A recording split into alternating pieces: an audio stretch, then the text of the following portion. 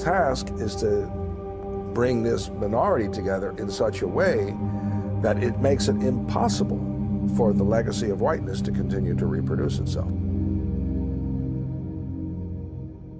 With only a cursory examination, one can readily observe an overarching theme that now pervades all Western advertising, television, and every manner of visual media. A passing glance immediately reveals, in stark contrast to those all around him, the painfully obvious, almost effete, new white male.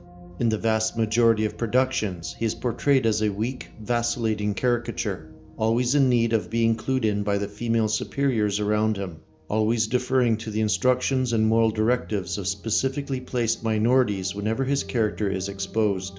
Additionally, he now must seek guidance from these very non-white protagonists whenever a universal perspective is sought, at which moment he is spoken down to with undertones of condescension and contempt, and sometimes even bitter hate. If by pure luck this lone white half-man does indeed win the girl, or has been transformed into some good guy killing machine, he must absolutely suspend his heroic stature whenever in the presence of a female or minority figure, whose superior natures cannot be questioned. Nor does it matter what narrative format or storyline is being presented. The Western white male is forever in need of repair from his toxic masculinity, as defined by any and all around him.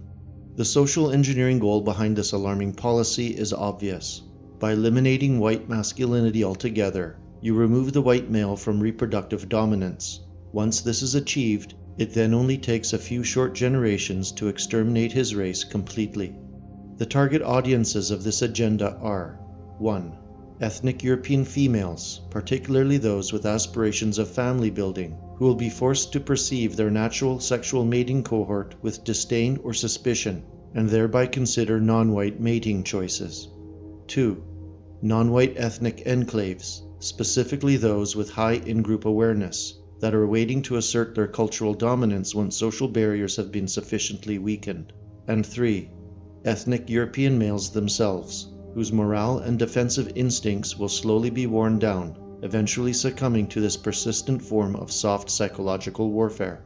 The power of visual media to collectively steer entire populations is well documented. It is no wonder that by the end of the First World War, certain groups began fighting for control of this culture making vehicle.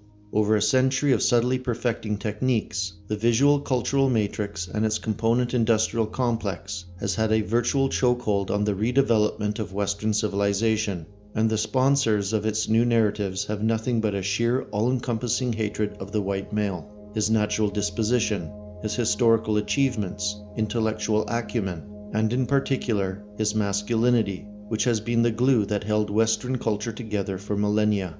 This quasi-military campaign being waged against white male populations will not end.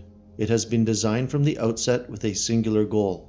Its cultural Marxist and neoliberal generals, camped in their production studios, special committees, and boardrooms, simply no longer have any connection to the cultures and peoples from which they descended, being either alien to European ethnies or so deracinated and global in their outlook that their open treason now no longer matters to them.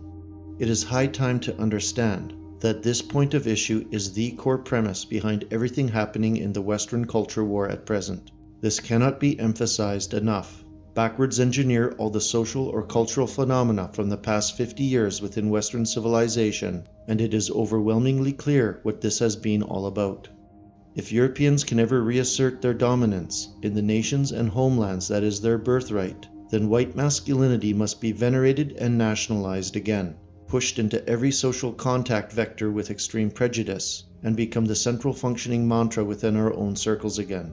It must become our new religion, our sexual ethos, and weapon if we have any chance of success in the upcoming battle being prepared for us. And God knows we shall have it.